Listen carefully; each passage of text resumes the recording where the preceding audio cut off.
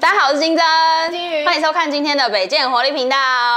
金宇，你有没有觉得我们最近好像一直在狂吃披萨？对他真的是疯狂在推出新品，没错，就在我们上上周吃完了必胜客出的香菜富翁肉跟披萨之后呢，没多久，又来一个更厉害的，我觉得他在考公读生。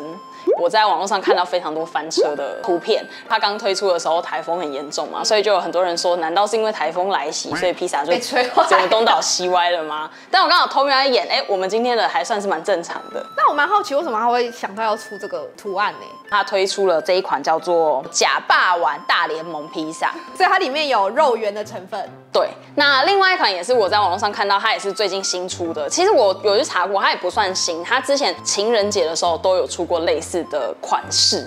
这一款呢叫做爱无限爱心起司披萨。那这两款我觉得蛮特别的是，它不是我们常规印象中圆形的披萨这样子。爱心很可爱。那这一次的棒球我觉得蛮酷的，那我们就一起来开箱看看吧。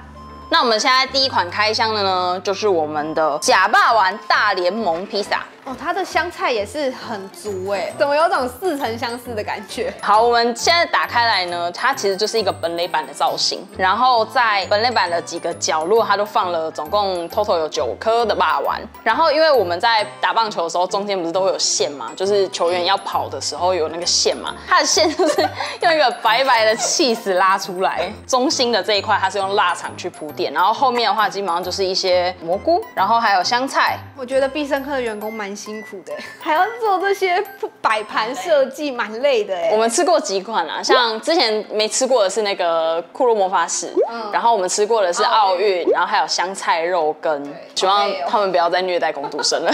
但我蛮期待这个霸丸的，它感觉是外酥内软的那种哎。然后它这一款也不是像一般我们买到的圆形披萨，是它会帮你切好，没有，这就是整片，你要自己想办法。而且它感觉是薄脆哎。提醒一下，这一款是薄脆，而且没得选，你就只能选薄脆。啊，我刚刚讲错了，它不是本垒板造型，它是整个球场，我摸到霸王皮了，是软 Q Q 的吗？很奇怪的触感，你摸摸看，哎呦，真的是软的，是不是很奇怪？它有霸王的味道哎。我觉得它的霸丸跟肉好像是分开来的哎，我觉得这几个东西它们没有在一起哎。它不是想象中那种包好一颗一颗的霸丸，它是把肉跟霸丸皮分次放上去，所以它们没有合在一起，然后下面再垫了一层皮。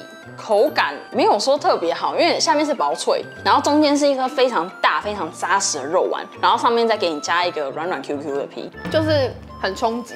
就是没有到融合的很好。不难吃，但是没有什么特色，我觉得这款如果买来拍照打卡的话，嗯，是蛮有趣的。可是如果实际要吃霸王，或者是你想吃好吃的披萨的话，是可以选别款的。但是就是你可以买一个披萨，然后吃到好几个口味啦。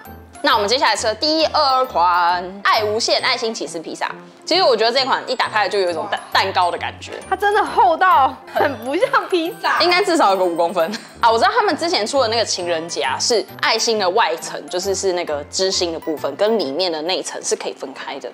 它应该是模具已经都做了，所以就回收利用，因为它好像也不是第一次出爱心形状的披萨了。可是我觉得，如果是不喜欢吃饼皮的部分的那个，就不要买这一款。它外层就是你平常点披萨的时候，如果你有加芝心的话，就就是那个味道。